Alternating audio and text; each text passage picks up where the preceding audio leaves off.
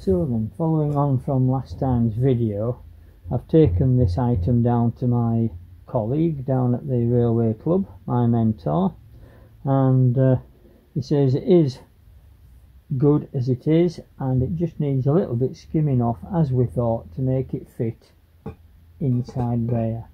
So what I need to do now is return this disc back into the lathe but what I'll have to do is I'll have to keep taking it back out of the lathe to come and test it inside this boiler tube here for a fit. For the simple reason I haven't got sufficient swing in the lathe to be able to get this to try and push it onto this disc when this is mounted in the lathe. So I'll have to keep taking this out. But if you recall we did number these particular areas with respect to a particular number jaw on the lathe chuck. So that shouldn't be too bad in that sense. We should get some kind of concentricity hopefully. Um, what we need to do is to make this a 2 thou or 3 thou clearance sliding fit inside that barrel but the way that this boiler is actually designed to be built this won't be at the very end of the barrel. This will actually be down inside the barrel. A little more like that. So it'll fitting down inside there. A little bit like that. But the drawing calls for this to be a tight fit inside this tube but for the silver solder we need the silver solder to penetrate down the side of this and against this barrel. So this can't be a tight fit. There's got to be a tolerance. So I'm going to get a cloth and clean down inside this tube now and then put this back in the lathe chuck with the respective numbers against the respective jaws of the chuck. And then I shall machine a little bit off.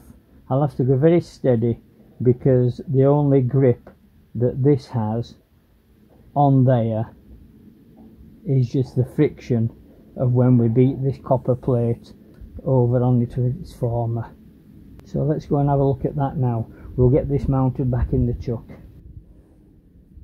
So we're back with the lathe again now I've got this thing mounted in the three jaw chuck of the lathe and what I've done I've put this piece of dowelling rod into this three jaw chuck here which I'm just going to apply a light bit of pressure onto the front face of this disc just in case the disc does decide it wants to walk off of this former plate that it seems to be compressed onto at the moment. It shouldn't walk off at all. I'm not expecting it to but I am just putting this in there as a safety caution. And what I need to do is skim a little bit off the side of here and then remove this from the chuck again take it and try it in the boiler and then keep bringing it back etc until we've got a reasonable sliding fit inside the barrel. This flange as we said previously is a little bit long. So what I what it can afford me to do I have a little mark on it here. I'm not sure whether you can see that. But this bit from this mark which is in this position here there is a mark there. And up to my fingernail all of this can be removed because this section here is all we need to comply with the plan of the boiler so all of this can be removed. So what I intend to do is remove this rear section first hopefully down to diameter and then I can try that as a test fit. And when I get that correct then I can afford to move on to this section here which is the section that I truly need to be a good fit. But I can afford to machine this down less than it needs to be by mistake without actually affecting the job itself. So we'll have a go at that now.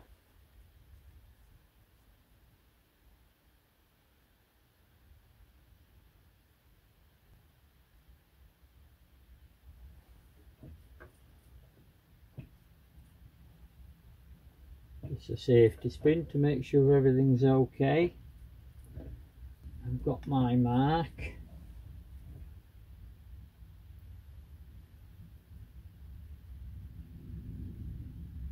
There. That's the bit that's safety mark that we can move up to. So we'll give it a go, see how we go on. So here's our mark that we can safely move up to. So let's have a go.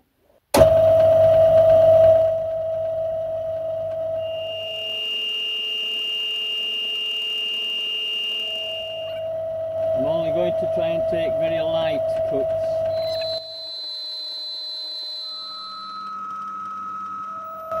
I'm just creeping up on the external diameter of the copper.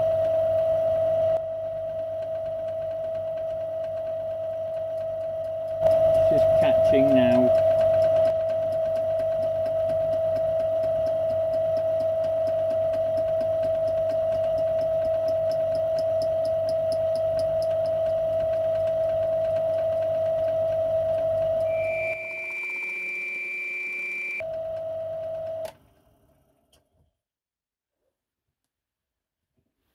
See that we're just catching the copper there.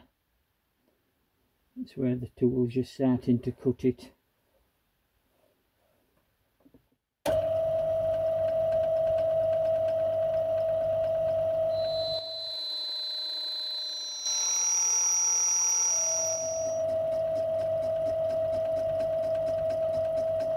trying to take the tool in until I don't get an intermittent cut anymore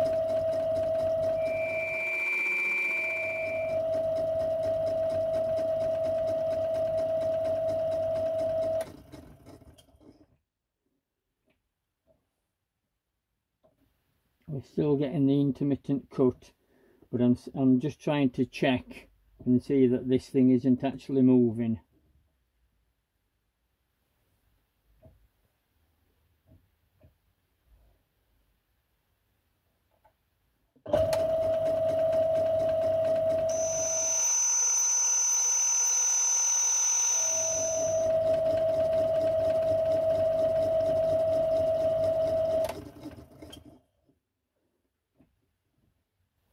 So we're still not hitting the disc all the way around yet.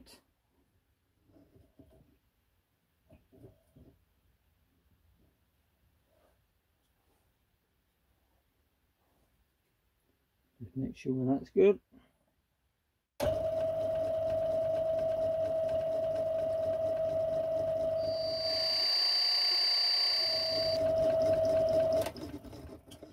Just check, yeah, we're still not hitting the full disc yet.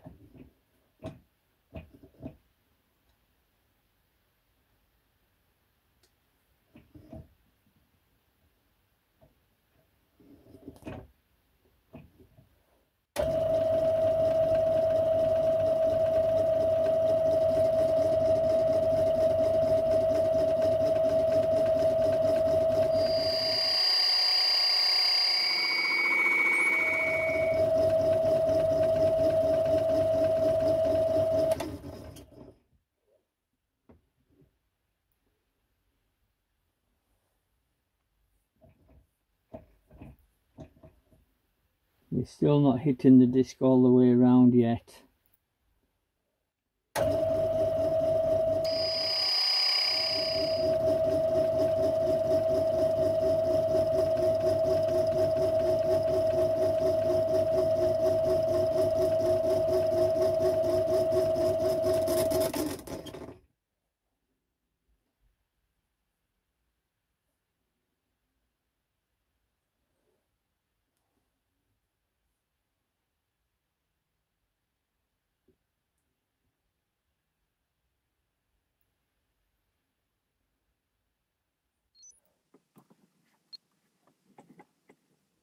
I'm just feeling to see how much I've taken off there and it's just a shine at the moment. I'm just moving the tool a little bit further this way off the job, off the edge.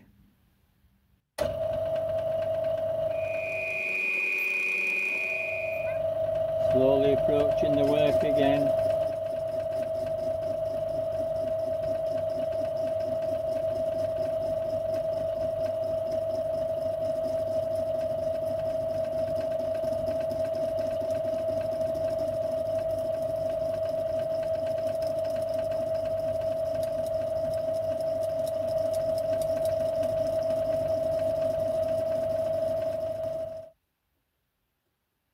no more than a scratch but I can feel the copper warming up a little bit now with the scraping of the tool. So with it getting warmer it will also be getting bigger. So I've got that to bear in mind when I machine further down. But that's what I'm going to do. I'm just going to continue in that form now. Just trying to take this down to a diameter where it's a close fit inside the barrel so I'm going to keep taking this in and out of the chuck etc and then realigning it and just do the same as I'm doing here until such times as I've got this section fitting into the barrel and then I'll machine this section here to match up with that section there.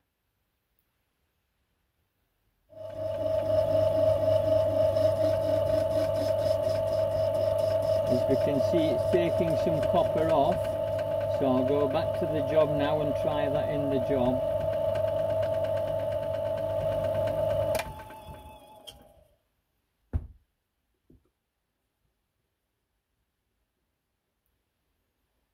Take that out.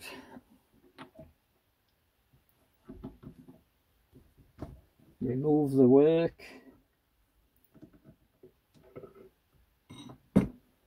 And go and try it in. Back soon so I'll just show you the reloading process. Jaw 2 jaw 1 jaw 3 is there and I've got my number three here. So I'm fortunate enough that I can just slide that into there tighten that into the chuck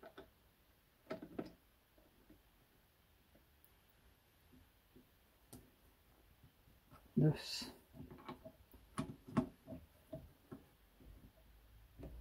and thus then bring this bar in here just to touch the front face of the copper.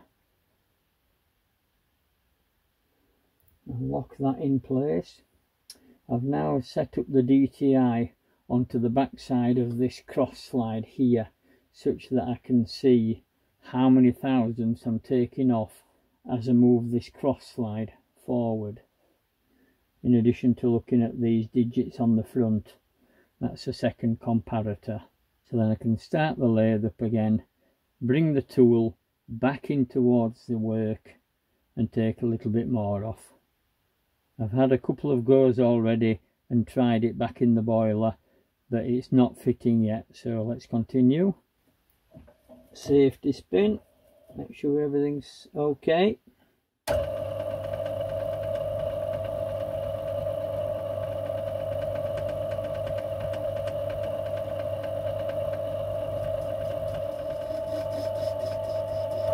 As we can see it's taking some copper off. So I'll go back to the job now and try that in the job we might just about be at a position where this is just starting to enter into the boiler barrel. So uh, let's take this out. We'll go and have a look at the boiler barrel and see whether it does fit in. We are very very near.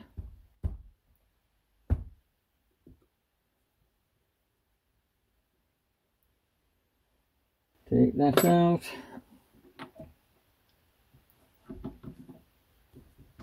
Remove the work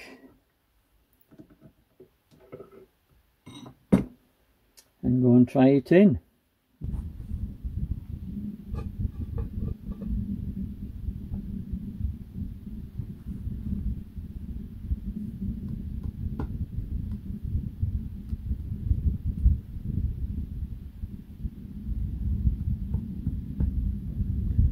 So that is now entering the barrel and that's what I would call the tight fit that it advertises to do this to in the book. But um, I believe we need to have a bit of clearance and at the moment that's a tight fit in there. Now obviously this barrel might not be an exact circle. So we may be able to twist that and it might be loose in one place and twist it back tight in another.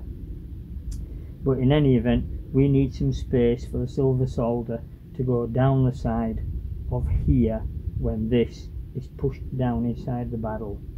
And then what we'll do because it will be loose at that point and sliding up and down we'll drill through the barrel into the plate and fix it with some copper screws such that this can then be held in its current position where you want it to be such that we can put the tubes in it etc heat it all up and solder it in and this won't just be flopping up and down inside.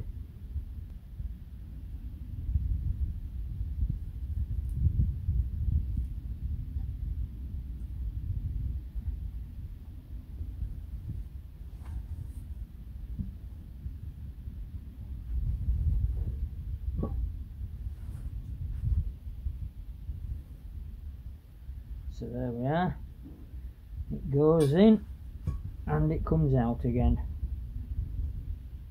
But as we've seen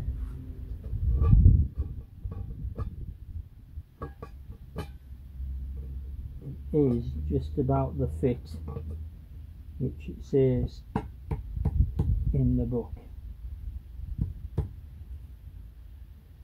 And I can't get that out again now. So tip it back over and push it through. So that's a pretty close fit now, so I'll take another couple of thou off and that will hopefully then give us a little bit of movement in there and then we'll reduce the rest of this diameter down to this finished diameter